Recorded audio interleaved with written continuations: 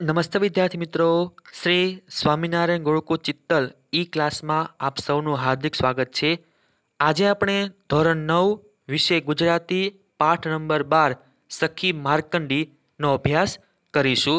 લેખક કાકા સાહેબ કાલકર, સાહિત્ય પ્રકાર, પ્રવાસ નિબંધ, સંદર્ભ ગ્રંથ લોકમાતા લોકમાતામાંથી આ પ્રવાસ નિબંધ લેવામાં આવેલો છે. તો હવે આપણે લેખક વિશે માહિતી પ્રાપ્ત કરીએ. લેખકનું પૂરું નામ છે દત્તાત્રેય બાલકૃષ્ણ કાલેલકર. મૂળ મહારાષ્ટ્રના સતારાના વતની હતા. જન્મ એક બાર અઢારસો પંચ્યાસી, અવસાન એકવીસ આઠ ઓગણીસો એક્યાસી. ગુજરાત વિદ્યાપીઠમાં અધ્યાપક અને આચાર્ય પદ પદે રહ્યા હતા. માતૃભાષા મરાઠી હોવા છતાં તેમણે ગુજરાતી ભાષામાં ઉત્તમ સાહિત્ય સર્જન કર્યું છે. તેથી ગાંધીજીએ તેમને સવાઈ ગુજરાતી તરીકે ઓળખાવ્યા. મિત્રો, ખાસ આ યાદ રાખજો. ગાંધીજીએ લેખકને એક બિરુદ આપેલું છે, જેનું નામ છે સવાઈ ગુજરાતી. ગંગા માતા, યમુના રાણી ઉભયાન્વયી નર્મદા, દક્ષિણ ગંગા ગોદાવરી તેમના ગદ્ય લેખન શૈલીના ઉત્તમ નમૂના છે. હિમાલયનો પ્રવાસ, બ્રહ્મદેશનો પ્રવાસ, પૂર્વ આફ્રિકામાં ઉગમનો દેશ જાપાન તેમના પ્રવાસ વર્ણનના ગ્રંથો છે. રખડવાનો આનંદ, જીવનનો આનંદ, જીવન લીલા તેમના નિબંધ સંગ્રહો છે. સ્મરણ યાત્રા, ઓતરાતી દિવાલોમાં અનુક્રમે શૈશવ અને જેલ જીવનના પ્રસંગોનું સુંદર વર્ણન કરવામાં આવ્યું છે. કાલકર ગ્રંથાવલીમાં તેમનું સમગ્ર સાહિત્ય ગ્રંથસ્થ થયું છે. તેમને સાહિત્ય અકાદમી એવોર્ડ દિલ્હી તથા પદ્મ વિભૂષણ પુરસ્કારથી સન્માનિત કરવામાં આવ્યા છે. તો હવે આપણે સૌપ્રથમ પ્રસ્તાવના જોઈશું અને પછી પાઠની શરૂઆત કરીશું. જે આપણે શીર્ષક આપેલું છે, સખી માર્કંડી. તો સખીનો અર્થ થાય બહેનપણી. અને માર્કંડી જે છે, એ નદીનું નામ છે. લેખકના વતનમાં જે નદી પસાર થાય છે, તેનું નામ છે માર્કંડી. તો લેખકનો માર્કંડી સાથે કેવો સંબંધ છે તે આપણે પાઠમાં જોઈશું. તો હવે આપણે પ્રસ્તાવનાની શરૂઆત કરીએ. કાકા સાહેબ કાલેકરનો પ્રવાસ નિબંધ. સખી માર્કંડી ભારતની નદીઓ વિશેના એમના પુસ્તક લોક માતામાંથી લેવામાં આવ્યો છે. આપણી સંસ્કૃતિમાં નદીને માતા કહે છે, પણ આ નિબંધમાં લેખક નદીને પોતાની સખી રૂપે આલેખે છે. લેખકના ગામ પાસેથી વહેતી માર્કંડીની સાથે એમનું બાળપણ વીત્યું હોવાથી એક વિશેષ ભાવ એની સાથે અનુભવ્યો છે. માર્કંડીનું સૌંદર્ય, એની મૈત્રી, નિકટતા વર્ણવીને લેખકે નદીનું અલગ સ્વરૂપ પ્રગટ કર્યું છે અને આ નદીનું નામ માર્કંડી કેમ પડ્યું એ આપણે કથા દ્વારા જોઈશું. તો હવે આપણે પાઠની શરૂઆત કરીએ. તો ધ્યાનથી તમે આ પાઠ જોજો. શું દરેક નદી માતા હોય છે? ના. હવે લેખક આપણને પ્રશ્ન કરે છે કે શું દરેક નદી છે એ માતા હોઈ શકે ખરી? મિત્રો, આપણે જાણીએ છીએ કે નદીને આપણે લોકમાતા કહીએ છીએ, પણ લેખકના મતે એ દરેક નદી લોકમાતા હોઈ શકે નહીં. માર્કંડી તો મારી નાનપણની સખી છે, કેમ કે માર્કંડી જે છે, એક નદીનું નામ છે. હવે ખરા અર્થમાં માર્કંડી નદી છે પણ લેખકના મતે માર્કંડી જે છે એની બાળપણની સખી છે. એ એટલી નાની છે કે હું મોટી બહેન તરીકે પણ ન ઓળખાવી શકું. કેમ કે માર્કંડીનો પ્રવાહ છે એકદમ નાનો છે. એટલે લેખક છે એને મોટી બહેન પણ ન કહી શકે. અમારા ખેતરમાં ઉમરાના ઝાડ તળે બપોરની છાયામાં બેઠો હોઉં ત્યારે માર્કંડીનો મંદ પવન જરૂર બોલાવવાનો.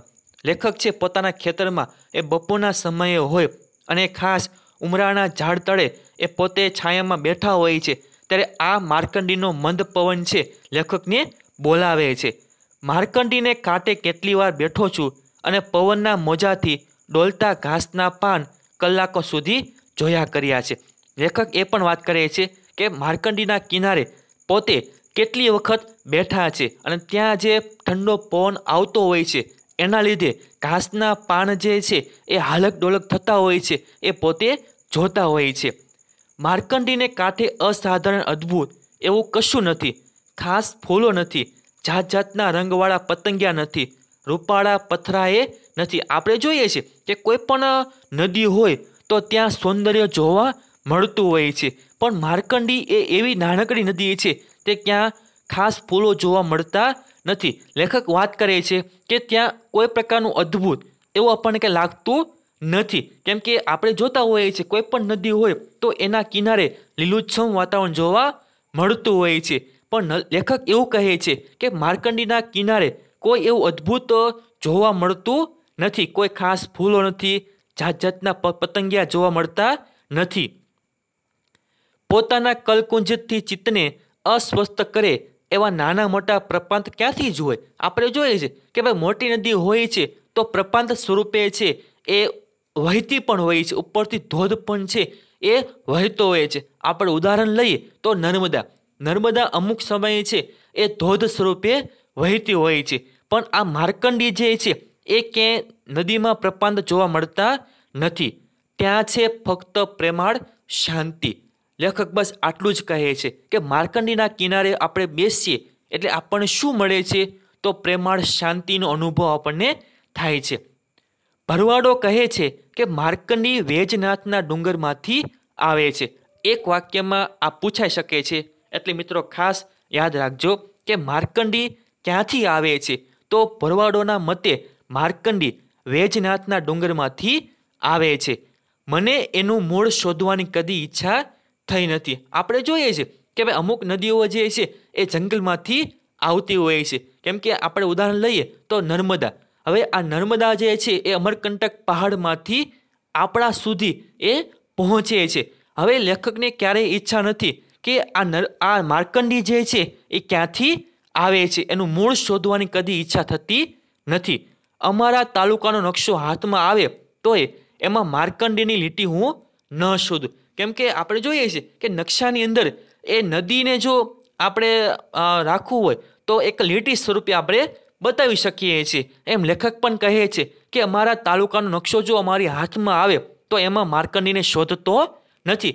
કેમ કે તેમ કરતાં એ સખી મટી નદી થઈ જાય છે. કેમ કે માર્કંડી જે છે એ લેખકની સખી છે, નદી નથી. મને તો એના પાણીમાં મારા પગ બોળીને બેસવાનું જ ગમે છે. સ્વાભાવિક છે, નદી કિનારે આપણે જઈએ છીએ તો પાણીમાં આપણે છપછબિયા કરતા હોઈએ છીએ. પગ મૂક્યો કે તરત જ ખડ ખડ ખડ ખડ એવો અવાજ શરૂ થાય. આપણે જોઈએ છીએ કે પાણીમાં જ્યારે આપણે પગ મૂકીએ છીએ અને આપણે છપછબિયા કરતા હોઈએ છીએ, તો આવા પ્રકારનો ખડ ખડ ખડ ખડ એવા પ્રકારનો અવાજ છે આપણને સંભળાતો હોય છે. નાનપણમાં અમે કેટલીય વાતો કરતા, એકબીજાનો સહવાસ અમારા આનંદને માટે બસ થતો. લેખક છે એ જ્યારે માર્કંડીના કિનારે બેસતા હોય છે, તો પોતે પોતાની સખી સાથે છે એ ઘણો સમય એ વાતો પણ કરતા હોય છે. પોતે ફક્ત આ પ્રકારની કલ્પના છે આપણને બતાવે છે. માર્કંડી શું બોલે છે તે સમજવાની હું દરકાર ન કરું અને હું જે બોલું એનો અર્થ કરવા માર્કંડી ન થોભે. કેમ કે માર્કંડીનો પ્રવાહ છે એ આગળ વધતો જોવા મળે છે.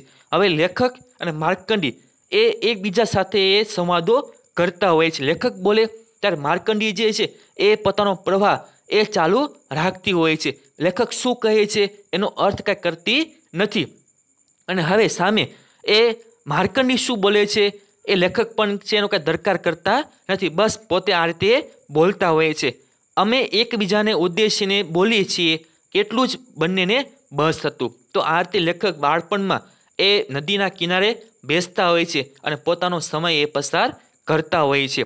ભાઈ બહેન, ઘણે વર્ષે મળે એટલે એકબીજાને હજાર સવાલ પૂછે, પણ એ સવાલો પાછળ જિજ્ઞાસા નથી હોતી. આપણે જોઈએ છે કે ભાઈ બહેન છે, એ ઘણા વર્ષે મળ્યા હોય, તો સ્વાભાવિક છે, એ સુખ દુઃખની વાતો કરતા હોય છે. કેમ કે ઘણા બધા સમય પછી એ મળ્યા છે. કદાચ હજારો સવાલ પણ છે એ પૂછતા હોય છે. પણ એ સવાલો પાછળ જિજ્ઞાસા એને હોતી નથી. એ તો પ્રેમ વ્યક્ત કરવાનો એક પ્રકાર હોય છે. ત્યારે આ રીતે લેખક વાત કરે છે કે જ્યારે હું મારી સખી સાથે બેસતો હોઉં છું, તો એના સામે હું સવાલો ઊભા કરતો નથી. બસ એક પ્રકારનો પ્રેમ હું વ્યક્ત કરવા ઈચ્છું છું. સવાલ શો પૂછ્યો અને જવાબ શો મળ્યો, એ તરફ ધ્યાન રાખવા જેટલી સ્વસ્થ વૃત્તિ પ્રેમ મિલન વખતે ક્યાંથી રહે? કેમ કે એ સમય લેખક નાના હતા. હવે પ્રશ્ન કયો છે? એનો જવાબ કયો છે? એ તરફ એ ધ્યાન આપતા નહીં. માર્કંડીને કાંઠે કાંઠે હું ગાતો ફરું અને માર્કંડી સાંભળતી જાય. અમુક અમુક સમયે લેખક છે એ ગીત પણ ગાતા હોય છે અને માર્કંડી લેખકના જે ગીતો એ સાંભળતી હોય છે. સોળમે વર્ષે પોતાને લઈ જવા આવેલા યમરાજને શિવ ભક્તિને જોરે પાછા ઠેલનાર માર્કંડે ઋષિનું આખ્યાન ગાતા મને કેટલો આનંદ થતો. હવે માર્કંડી નામ કેમ પડ્યું? એને આપણને લેખક એક કથા આપે છે. ખાસ સવિસ્તાર પ્રશ્નમાં આ પૂછાઈ શકે છે. તો ધ્યાનથી તમે સાંભળો. હવે લેખક જે છે એ માર્કંડીના કિનારે માર્કંડે ઋષિના આખ્યાનો એ ગાતા હોય છે. કે આ ઋષિના? માર્કંડેય. ખાસ નામ યાદ રાખજો. માર્કંડેય ઋષિનું નામ છે. માર્કંડી જે છે એ નદીનું નામ છે. મૃકંડુ ઋષિને સંતાન ન હતું. હવે જો કે માર્કંડેય ઋષિનું આખ્યાન છે, એ પોતે ગાતા હોય છે. તો આ માર્કંડેય જે છે, એ કોના દીકરા છે? તો મૃકંડુ ઋષિના એ દીકરા છે. હવે આપણે વાત કરીએ કે એ સમયે મૃકંડુ ઋષિને કોઈ સંતાન ન હતું. એને તપચર્યા કરી મહાદેવે મહાદેવ પ્રસન્ન કર્યા. હવે આ મૃકંડુ ઋષિ જે છે, એ તપ કરે છે. મહાદેવને પ્રસન્ન કરે છે. મહાદેવે વરદાનમાં વિકલ્પ મૂક્યો. ખાસ જે વિકલ્પ છે તમારે યાદ રાખવાનો છે. કયો વિકલ્પ છે તો તમે ખાસ એ જુઓ. કા સોળ વર્ષ જીવનાર, અદ્ભુત, અદગુણી બાળક. શું કીધું? કે સોળ વર્ષ જીવનાર, સદગુણી બાળક. કાં તો સો વર્ષ જીવનાર, મૂઢ બાળક. તમે પસંદ કરો. હવે મહાદેવ પ્રસન્ન થયા અને મહાદેવ મૃકંડુ ઋષિ સામે એક વિકલ્પ મૂકે છે અને એવું કહે છે કે તમારે કયા બાળકને જોઈએ છે. બરાબર? હવે શું કીધું છે કે તમારે એવું બાળક જોઈએ છે કે ફક્ત એ સોળ વર્ષ જીવી શકે. અને પાછું કેવું હોય છે તો સદગુણી એ બાળક હોય છે. અને કાં તમારે એવું બાળક જોઈએ છે કે મૂર્ખ હોય. પણ એનું આયુ કેટલી કેટલી હોય તો એ સો વર્ષ જીવી શકે. તો આ બેમાંથી તમારે એક વિકલ્પ પસંદ કરવાનો છે. હવે, બેમાંથી કયો વર પસંદ કરો? કેમ કે મહાદેવે તો કહી દીધું કે બેમાંથી કોઈ પણ એક વરદાન તમે પસંદ કરી શકો છો. હવે મૃકંડુ ઋષિ જે છે, એ બેમાંથી કયો વરદાન એ પસંદ કરે છે આપણે જોઈએ. ઋષિએ ધર્મપત્નીને પૂછ્યું, સદગુણી બાળક ફક્ત સોળ જ વર્ષ ભલે જીવે, એ જ કુલો દ્વારક થશે. હવે શું થાય છે? તો કે ઋષિ જે છે, પોતાની ધર્મપત્નીને વાત કરે છે અને હવે એવું કહે છે કે ભલે આપણે એ બાળકની પસંદ કરીએ કે જે બાળકનું આયુ ફક્ત સોળ વર્ષનું હોય અને એ સોળ વર્ષનું બાળક જે છે, એ કુલો દ્વારક બનશે. એમ ગણી બંને જણાએ એ જ માગી લીધો. અને આ રીતે મૃકંડ ઋષિ છે, એ મહાદેવને કહે છે કે અમારે આવા બાળકની જરૂર છે કે જે ફક્ત સોળ વર્ષ જીવી શકે. માર્કંડેય જેમ જેમ ઉંમરમાં ખીલતો જાય, તેમ તેમ મા બાપના વદન મ્યાલ થતા જાય. આખરે સોળ વર્ષ પૂરા થયા. અને જે બાળકનો જન્મ થયો, એ બાળકનું નામ શું છે? મિત્રો, ખાસ નામ યાદ રાખજો. હું ફરીવાર બોલું છું, એ બાળકનું નામ છે માર્કંડેય. મૃકંડુ ઋષિનું નામ છે. માર્કંડી નદીનું નામ છે અને માર્કંડેય જે છે એ મૃકંડુ ઋષિના દીકરાનું નામ છે. તો ખાસ આ ત્રણ શબ્દો તમે યાદ રાખજો. તો આ રીતે માર્કંડેય જે છે એ સોળ વર્ષ જીવે છે. કેમ કે સોળ વર્ષ છે એના પૂરા થાય છે. અને નિયમ પ્રમાણે જ્યારે આ માર્કંડેયના એ સોળ વર્ષ પૂરા થાય, તો હવે એને મહાદેવ પાસે જવું પડે. યુવાન માર્કંડેય પૂજામાં બેઠો છે. યમરાજ પોતાના પાડા પર બેસીને આવ્યા. કેમ કે સમય થઈ ગયો હતો. નિયમ પ્રમાણે સોળ વર્ષ જીવશે એવું મહાદેવ છે. એ વરદાન આપે છે. તો યમરાજ માર્કંડેયને લેવા માટે આવે છે અને કોના પર બેસીને આવે છે? તો પાડા પર બેસીને આવે છે. પણ શિવલિંગને ભેટી પડેલા યુવાન સાધુને અડકવાની એમની હિંમત કેમ ચાલે? હવે આ યમરાજ જે છે એ માર્કંડેયને લેવા માટે આવ્યા હોય છે. પણ એ સમયે માર્કંડેય ઋષિ શું કરી રહ્યા હોય છે? તો એ પૂજા કરી રહ્યા હોય છે. શિવલિંગને ભેટીને એ પોતે પૂજા કરી રહ્યા હોય છે. તો હવે યમરાજને છે, એ હિંમત ચાલતી નથી. હા, ના કરતા આખરે પાસ ફેંક્યો. શું કરું? કેમ કે સમય થઈ ગયો છે. માર્કંડેને લઈ જવાનો છે. હવે યમરાજ શું કરે છે? તો કે પહેલાં કે લઈ જાઓ, ન લઈ જાઓ લઈ જાઓ, ન લઈ જાઓ. તો આવો વિચાર કરતાં કરતાં અંતે પોતે એક દોરડું એ માર્કંડે તરફ ફેંકે છે. ત્યાં લિંગમાંથી ત્રિશુળધારી શિવજી પ્રગટ થયા. મિત્રો, તમારે આ કથા જો તમારે જોવી હોય, તો તમારે સોમનાથ જવું પડે. કેમ કે બાર જ્યોતિર્લિંગ જે છે, ત્યાં તમને આ કથા જોવા મળશે. તો સોમનાથ તમે જાઓ, તો ત્યાં સામે, મંદિરની સામે છે આ બાર જ્યોતિર્લિંગ, એનું પ્રદર્શન મૂકવામાં આવેલું છે. તો તમને ત્યાં જોવા મળશે. હવે જ્યારે યમરાજ જે છે એ આ માર્કંડે સામે પાસ ફેંકે છે. એક પ્રકારનું દોરડું છે. એ ફેંકે છે. ત્યાં ત્રિશુળધારી શિવજી છે, પ્રગટ થાય છે. અને ધૃષ્ટતા માટે યમરાજને સાંભળવું પડ્યું. અને મહાદેવ જે છે, એ યમરાજને સંભળાવે છે. કેમ કે યમરાજે આ ધૃષ્ટતા કરી હતી. મૃત્યુંજય મહાદેવના દર્શન થયા પછી માર્કંડેયને મૃત્યુની બીક ક્યાંથી હોય? મૃત્યુંજય મૃત્યુ પર વિજય મેળવ્યો હોય તેવા. એટલે કે મહાદેવ. હવે જેને, જેની પાસે મહાદેવ છે અને મૃત્યુની બીક નથી હોતી, એની આયુ ધારા હજી વહે છે અને એવું કહેવાય છે કે માર્કંડેય છે, એની આયુ વધતી જાય છે. કેમ કે સોળ વર્ષની આયુ આપેલી હોય છે, તો સોળ વર્ષની, પણ સો વર્ષની આયુ છે પ્રાપ્ત થાય છે. હવે લેખક આગળ કહે છે, આ કથા અહીં પૂરી થાય છે. તો પોતાની નદી જે છે, એ પોતાની બહેનપણી છે, એના વિશે વાતો કરે છે. કોલેજમાં ભણતો ત્યારે પરીક્ષા પછી અમારી ભાઈબીજ થતી. લણણીના દિવસો હોય, બબ્બે દિવસ મારે ખેતરમાં જ ગાળવાના હોય. સ્વાભાવિક છે કે હવે મોસમ હોય તો લેખક જે છે એ ખેતરની અંદર કામ કરતા જોવા મળતા હોય છે. અને હવે બબ્બે દિવસ છે એ ખેતરમાં રહેવું પડે છે.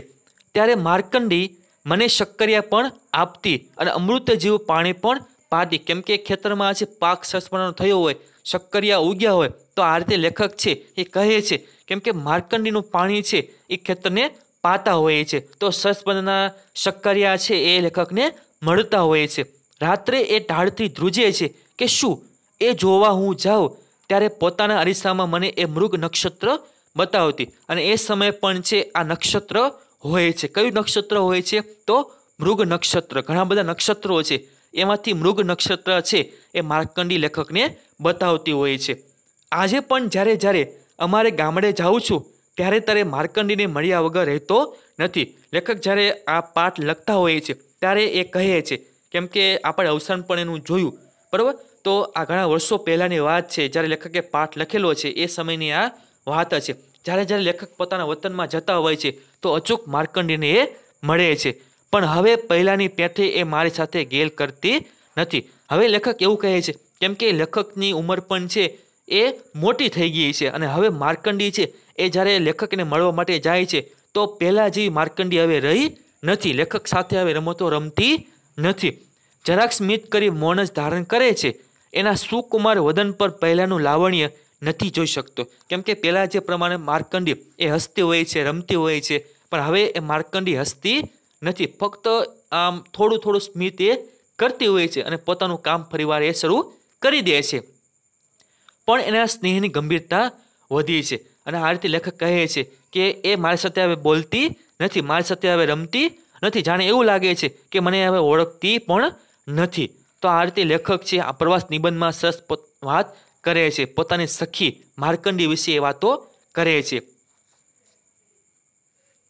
જો તમને મારો આ વીડિયો ગમ્યો હોય તો લાઈક કરો શેર કરો અને સબસ્ક્રાઈબ કરો. Thank you